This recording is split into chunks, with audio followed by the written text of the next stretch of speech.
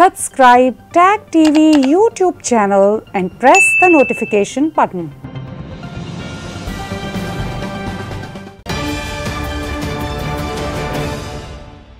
अस्सलाम वालेकुम नाजरीन टैग टीवी के पाकिस्तान स्टूडियो से मैं हूँ रुखसा शहजाद। सबसे पहले शामिल करते हैं न्यूज़ हेडलाइंस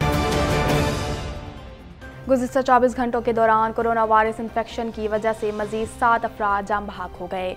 कोरोना के मुसदा केसेस की तादाद तीन लाख इक्कीस हज़ार आठ सौ सतहत्तर हो गई है। कोरोना की तशखीस के लिए मुल्क में 24 घंटों के दौरान तैंतीस हज़ार नौ सौ एक टेस्ट किए गए। मकरान कोस्टल हाईवे पर दहशतगर्दों के साथ झड़प में शहीद होने वाले 14 एफ़ सी एहलकारों और सिक्योरिटी गार्ड्स की इज्तमाही नमाज़ जनाजा अदा कर दी गई। शहदा की मैतें उनके आबाई इलाकों की जानब रवाना कर दी गईं। माइंड सेट बदलने की कोशिश कर रहे हैं। वज़ीर अजम इमरान खान का कहना है कि पाकिस्तान का सबसे बड़ा सासा तारकिन वतन है। ओवरसीज़ पाकिस्तानी मुल्क को सबसे ज़्यादा फ़ायदा पहुँचा सकते हैं। हमारा विजन धुंधला चुका है। डॉलर की कमी के बायस हमें आई एम एफ़ के पास जाना पड़ता है। अपोजिशन जमातों को गुजरावाला में सियासी ताकत का मुजाहरा मरियम नवाज़ ने कहा कि आज के जलसे में हुकूमत के खात्मे की शुरुआत हो चुकी। सिलेक्टेड हुक्मरानों को घर भेज कर दम लेंगे। मौलाना आदिल खान की शहादत के बाद शहर कायद में उलमा की जानब से हड़ताल। हड़ताल के बायस सड़कों पर पब्लिक ट्रांसपोर्ट मामूल से कम है, जबकि निजी गाड़ियाँ रवा दवा हैं। मौलाना आदिल को 10 अक्टूबर को नामालूम मोटरसाइकिल सवारों की जानब से कत्ल किया गया था। इंग्लिश क्रिकेट टीम जनवरी 2021 में पाकिस्तान के दौरे का इम्कान दोनों बोर्ड्स में तीन टी ट्वेंटी मैचेस के हवाले से बातचीत जारी है। इंग्लिश टीम का ये 15 साल बाद पहला दौरा पाकिस्तान होगा। ग्रीनिश हैंड सैनिटाइजर ना ऑयली ना स्टिकी ना बदबू और मुकम्मल अब्जॉर्प्शन और हाथ नरम, मुलायम और साफ़।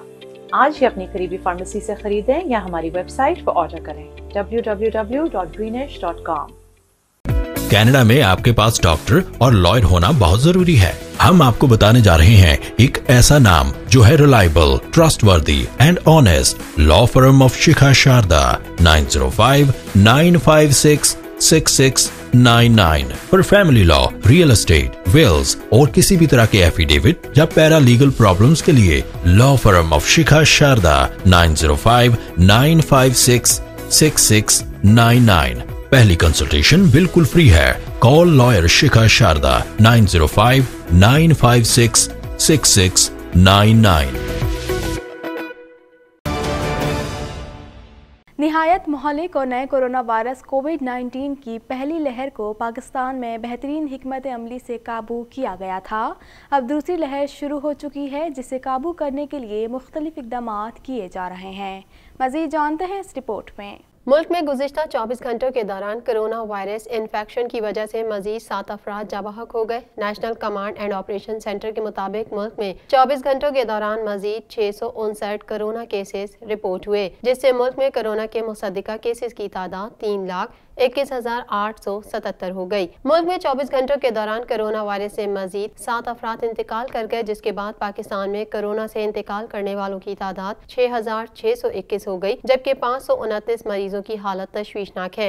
एन सी ओ सी का कहना है की इस वक्त पाकिस्तान में कोरोना के नौ हज़ार चार सौ इक्कीस मरीज़ जेर इलाज है। गुजशत चौबीस घंटों के दौरान चार सौ चालीस कोरोना मरीज़ सेहतियाब हुए, जिसके बाद मुल्क में कोरोना से सेहतियाब अफराद की तादाद तीन लाख पाँच हज़ार आठ सौ पैंतीस हो गई। कोरोना की तशखीस के लिए मुल्क में 24 घंटों के दौरान तैंतीस हज़ार नौ सौ एक टेस्ट किए गए। मजमू तौर पर अब तक पाकिस्तान में चालीस लाख नौ हज़ार चार सौ सत्तानवे कोरोना टेस्ट किए जा चुके हैं। ख्याल रहे की नहायत महलिक और नए कोरोना वायरस कोविड नाइन्टीन की पहली लहर को पाकिस्तान में बेहतरीन हमत अमली ऐसी काबू किया गया था। अब दूसरी लहर शुरू हो चुकी है, जिसे काबू करने के लिए मुख्तलिफ़ इकदाम किए जा रहे हैं। गुजशत रोज़ कोस्टल हाईवे पर और माड़ा के करीब सिक्योरिटी फोर्सेज और दहशत गर्दों के दरमियान झड़प हुई है, जिसमें एफ़ सी बलोचिस्तान के सात बहादुर जवान और सात सिक्योरिटी गार्ड शहीद हुए थे। मजीद तफसलत जानते हैं इस रिपोर्ट में। मकरान कोस्टल हाईवे पर दहशतगर्दों के साथ झड़प में शहीद होने वाले चौदह एफसी एहलकारों और सिक्योरिटी गार्ड्स की इज्तिमाही नमाज़ जनाजा अदा कर दी गई। नमाज़ जनाजा के बाद शहदा की मैयतें उनके आबाई इलाकों की जानब रवाना कर दी गई जहाँ उन्हें सुपुर्द खाक किया जाएगा। वाजह रहे की गुजशत रोज कोस्टल हाईवे पर और माड़ा के करीब सिक्योरिटी फोर्सेज और दहशत गर्दों के दरमियान झड़प हुई, जिसमें एफ़ सी बलोचिस्तान के सात बहादुर जवान और सात सिक्योरिटी गार्ड शहीद हो गए। दहशत गर्दों से झड़प में शहीद होने वाले अहलकारों में सूबेदार आबिद हुसैन, नायक मोहम्मद अनवर, सिपाही मोहम्मद नवीद, लांस नायक अब्दुल लतीफ, लांस नायक इफ्तार अहमद, सिपाही मोहम्मद वारिस, सिपाही इमरान खान, हवलदार रिटायर्ड समंदर खान, मोहम्मद फवादुल्ला अताउल्ला वारिस खान, अब्दुल नाफे शाकिरुल्ला और आबिद हुसैन शामिल हैं। वज़ीर अजम ने कहा, पाकिस्तान एक गलत सिमत में निकला हुआ है। एक मुल्क कॉटन फरोख करके तरक्की नहीं कर सकता। कोई मुल्क मलेशिया की तरह सिर्फ़ रबर और टीन बेच कर तरक्की नहीं कर सकता। सरमाकारी नहीं होगी तो मुल्क आगे कैसे बढ़ेगा? मजीद तफसलत इस रिपोर्ट में। वज़ीर अजम ने कहा है कि माइंड सेट बदलने की कोशिश कर रहे हैं। पाकिस्तान का सबसे बड़ा असासा तारकिन वतन है। ओवरसीज पाकिस्तानी मुल्क को सबसे ज़्यादा फ़ायदा पहुँचा सकते हैं। वज़ीर अजम ने कहा, पहले जहन में तब्दीली आती है, फिर निज़ाम तब्दील होता है। कौमें तय करती हैं कि जाना किधर है। बदकिस्मती से इदारों में बाहमी ताउन का फुकदान है। हमारा विजन धुंधला चुका है। डॉलर की कमी के बायस हमें आई एम एफ़ के पास जाना पड़ता है। मुल्क की तरक्की के लिए डॉलर आने चाहिए, न के बाहर जाने चाहिए। कोई कनेक्शन नहीं है कि पाकिस्तान ने जाना किस तरफ़ है? गवर्नमेंट का क्या रोल है? गवर्नमेंट के डिफरेंट इदारों का आपस में क्या कोऑर्डिनेशन होनी चाहिए? ये सब कुछ फ्रैक्चर हो चुका है।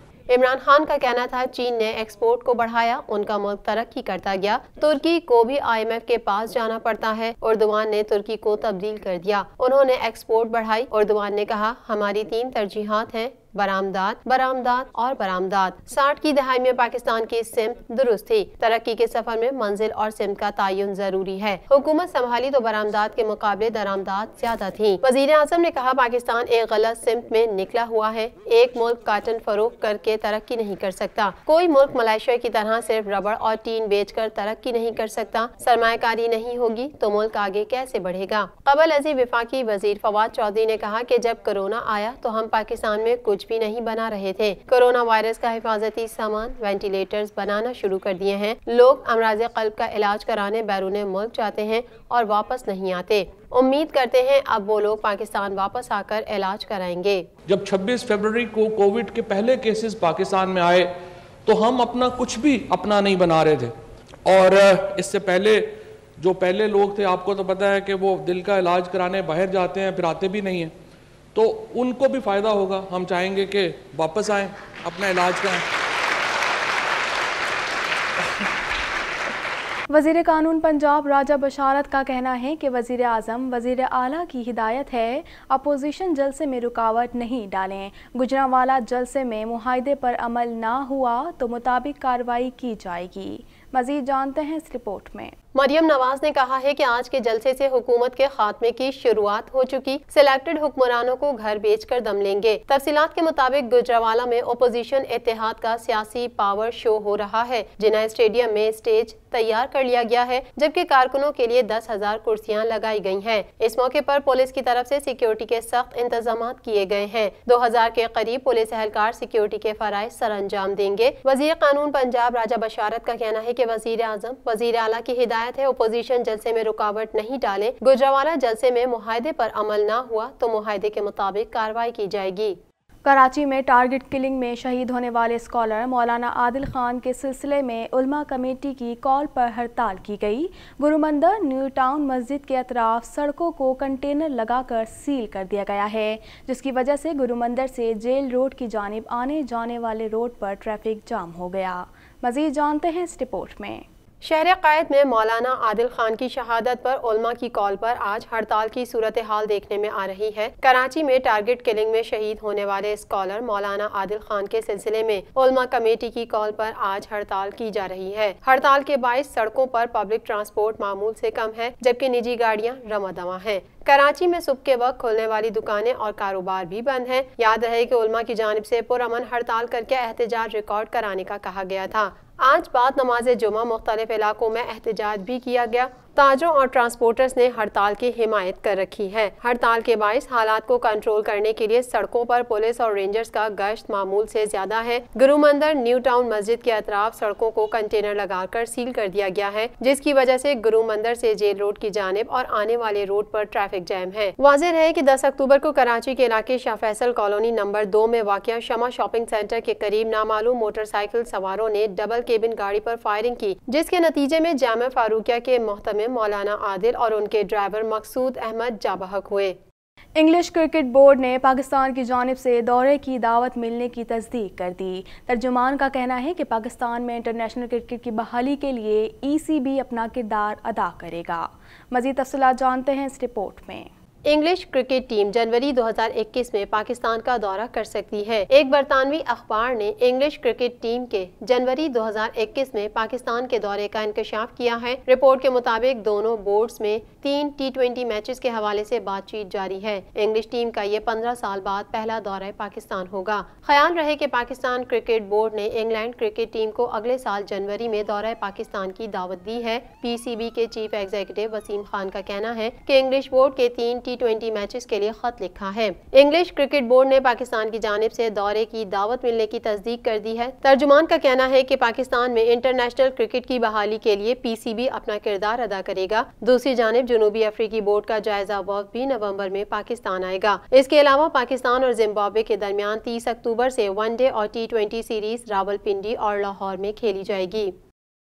मजीद खबरें भी बुलेटिन का हिस्सा होंगी, मगर इस ब्रेक के बाद।